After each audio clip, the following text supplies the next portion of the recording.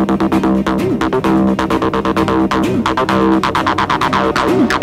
you.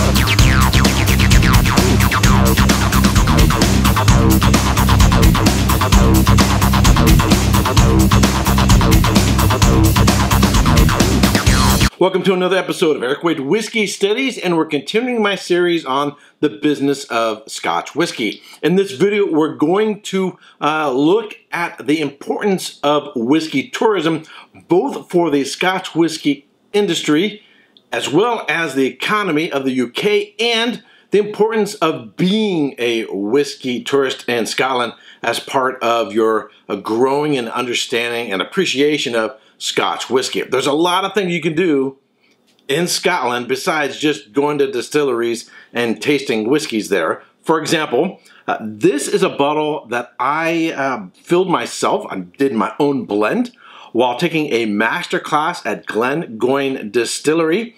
Um, was an, sort of an all day event, so didn't go to any other distilleries that day. But it's just an awesome experience to either, as I did at uh, GlenDronach in my last trip uh, in July 2019, or as I did at Glenfiddich, to be able to fill your own bottle straight from the cask, or to make your own blend in taking a class. Uh, this one, and it's a unique bottle, uh, 200 milliliter that I got to take home as part of uh, the class. Oh. Uh, my notes are on the inside. So I, uh, you know, tasted a bunch of the, the whiskeys, figured out what I liked, and then figured out what I wanted to put in my private blend. And uh, this one has a refill hogshead, uh, first fill American oak bourbon barrel, first fill American oak sherry puncheon, a first fill European oak sherry puncheon, uh, and a first fill European oak sherry puncheon. Um, and have various percentages of all these. The average ABV in all this, well, one is 58.4, another is 57.6. So overall, it's probably somewhere in the 55 to 56% alcohol of by volume. Really, really fun experience. Very, very educational. Do a tour of the entire uh, distillery. Get to go into uh, the uh, warehouse and then have a sit down tasting of a bunch of different whiskeys. Also, they provide a lunch as part of the deal. Really, really fantastic. So, as I'm enjoying this Erik Wait blend from Glen Glengoyne Distillery, where I get to play master blender, master distiller, let's get into my notes. Scotch whisky tourism saw record numbers of visitors in 2018, with over 2 million visits to Scotch whisky distilleries from tourists for the very first time. The annual survey compiled by the Scotch Whisky Association revealed visits were up 6.1% year on year and 56% more than in 2010. The survey also showed spending at visitor centers was up by 12.2% to 68.3 million pounds, an additional 7.4 million pounds compared with 2017, and 154% more than in 2010, a result of the continued industry investment in world class tourist centers. Over 20 different nationalities visited distilleries last year, with Germany and the USA providing the largest number of Scotch whisky tourists. Increased visits from France, Spain, and the Netherlands were also reported, as well as India and China. Collectively, Scotch whisky distilleries remain the third most visited attraction in Scotland. At the company level, Macallan opened a new state of the art distillery in 2018, which has attracted many new visitors.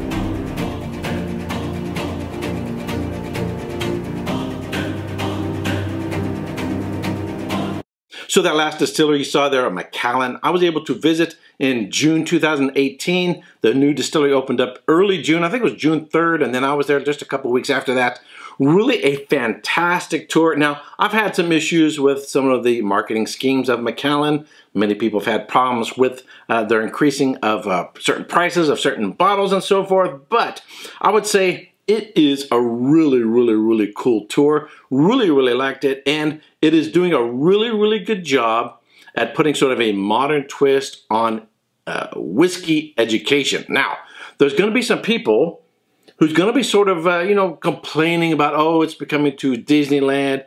Oh, you know, it's all show and this kind of thing. And I totally disagree.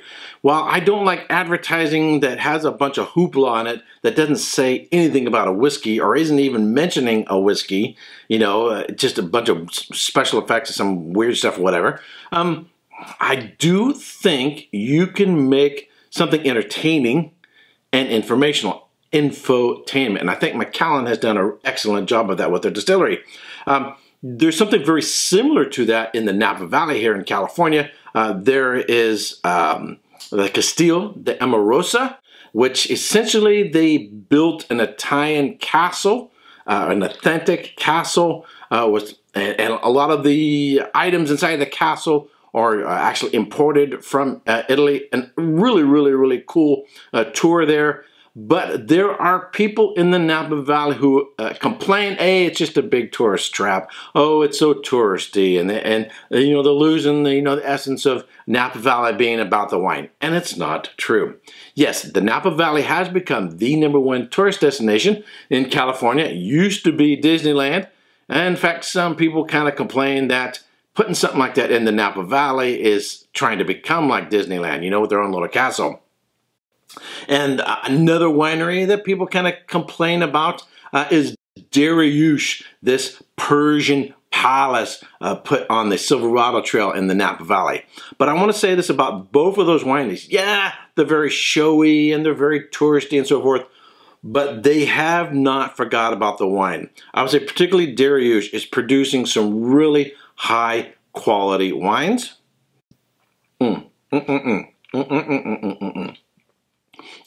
it's not all show.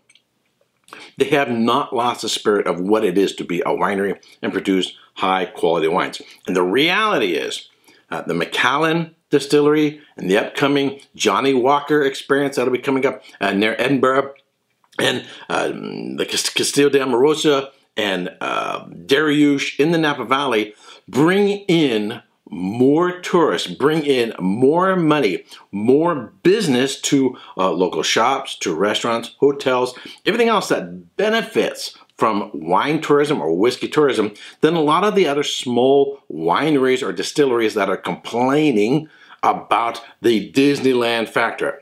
So I don't have any problem of the big glitzy glamorous advertisements or um, distilleries or wineries and so forth, so long as you don't lose the essence of what it's supposed to be about. It's all about the whiskey or the wine if you're in the Napa Valley.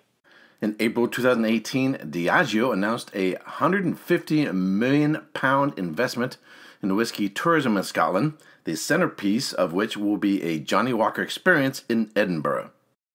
The Spirit of Speyside Festival and the Fèis Ìle on Islay have been huge successes and are now firm fixtures in the annual calendar, with global whiskey fans booking their trips well in advance.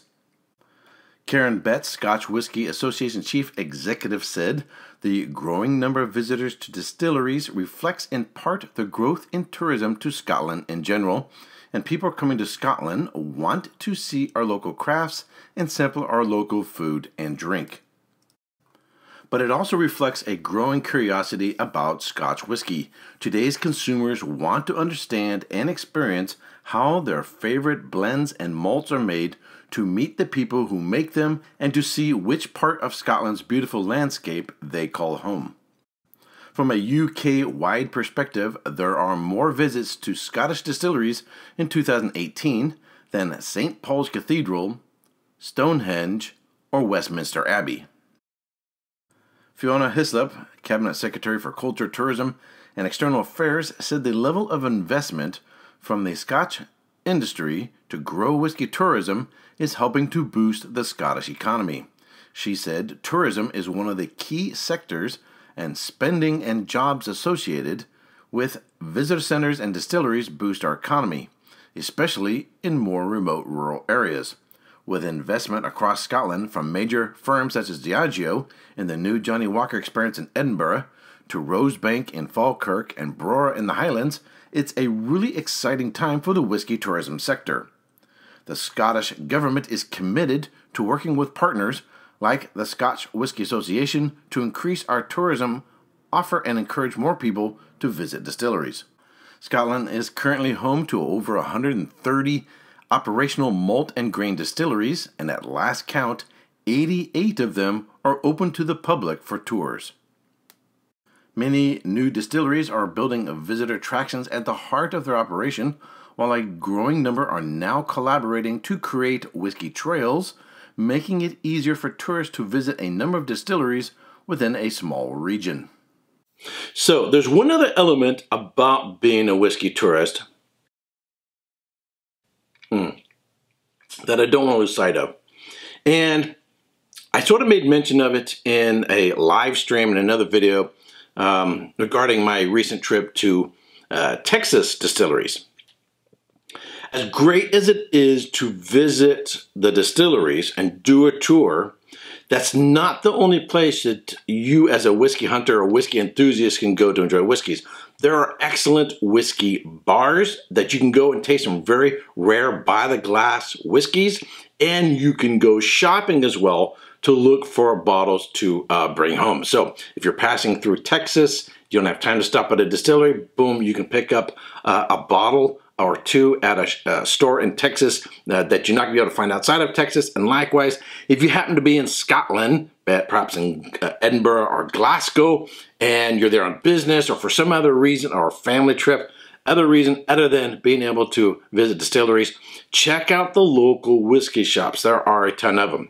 However, you do got to be careful, especially near Edinburgh, because everything is priced for the tourists. However, those locations, particularly if you're near uh, the Edinburgh Castle, the real estate's going to be higher, leases are going to be higher because that's prime real estate to reach to tourists. So they're going to be a little bit more expensive. However, uh, check out some videos by some friends of mine uh, Phil and Deepa on their channel. It's called Captain 3D. Uh, as I'm recording this, I'm going to be posting this. They're actually in Scotland right now, and they've been posting some really cool whiskey vlogs of their visits to uh, whiskey shops in Edinburgh. Next up, Whiskey Trail and Loch Fyne, I think. Let's go on our own whiskey trail. Whiskey Trail number two.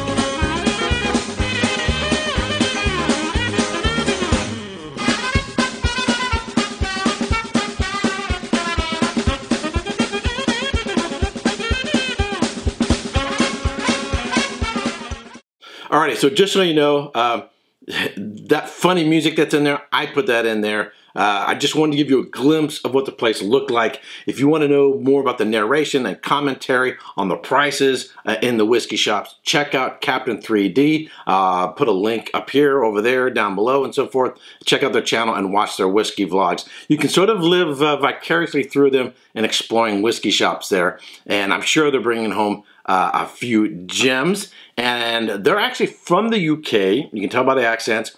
Uh, but they live here in the San Francisco Bay Area. And I'm hoping to meet up with them again. And we'll share our, some of our experiences to um, uh, Scotland and some of the bottles that we brought home. Alrighty, um, that's it for this video. If you subscribe to this channel, I want to thank you very much. If you haven't yet subscribed, but you like watching my videos, I greatly appreciate it. If you would subscribe, give this video a thumbs up, share it with your friends on Facebook, Twitter, and other social networking channels. And if you haven't yet, and you ever have the opportunity, I highly, highly recommend going to Scotland and exploring um, the distilleries, uh, the castles, the whiskey shops, um, the historical ruins there. Oh, so much more there than just the, the distilleries and the whiskeys, but uh, definitely you're going to want to check out a few. And there's so many bottles there that you can't even get that never leave Scotland.